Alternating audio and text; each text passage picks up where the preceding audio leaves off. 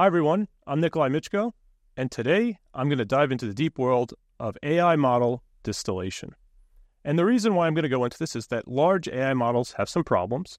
Uh, I'm going to go into that and also make a few points on how you can teach a smaller model or distill knowledge from a big AI model into a smaller model. So, what's really the problem here? Well, large language models are particularly big, and that's the L in large language models.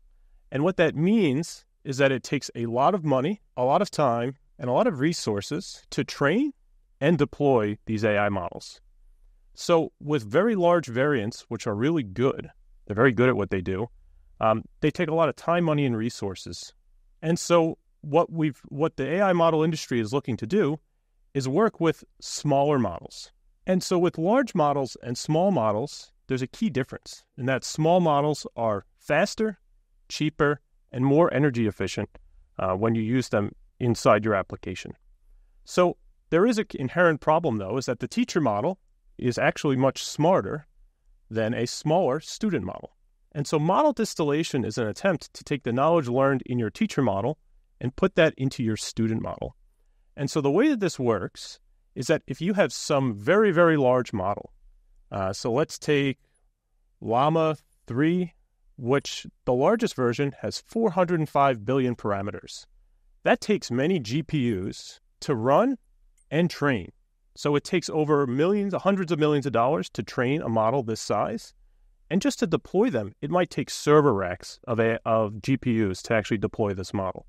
However, a small language model or a smaller model, like Llama 3 1 billion, can be deployed to your phone.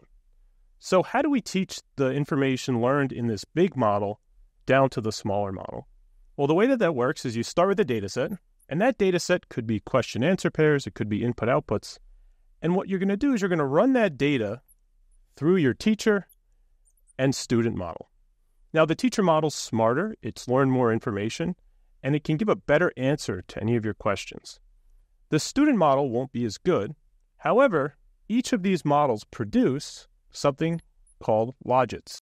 And these are little bits of information that go in that have the detail of how the model actually thought and got to the conclusion it gave you back. So, what the way you get data from or information from your teacher model to your student model is you actually compare the output of these logits. And then using a variety of algorithms, which we won't go into here, you can then update your smaller model so that it becomes closer to your larger model. Now, you can do this in an iterative process so that your student model learns from the teacher model, and that's effectively knowledge distillation. So, why would you do this in the first place? Well, the teacher model, again, is very, very hard to deploy, can be very expensive. The student model uh, can run in many more places. So, this can run on your phone, your laptop, it can even run on an edge device and put it out in the field. And effectively, what this means is that your time, cost, and resources to both train and deploy the student model are much lower. And so model distillation is a very important technique that you actually see in the field to be able to get an AI model and knowledge that you have in a teacher model into a student model, a large language model into a small language model. And you might actually be using one of these distilled models today if you use the turbo variant of any of the uh, OpenAI models uh, you see uh, you see in their API. So ChatGPT 3 was distilled down to ChatGPT 3 Turbo. 3.5. And again, you can do this in an iterative process. So you could take a very large model and you could continue going smaller and smaller until you have a model that's right for your device size.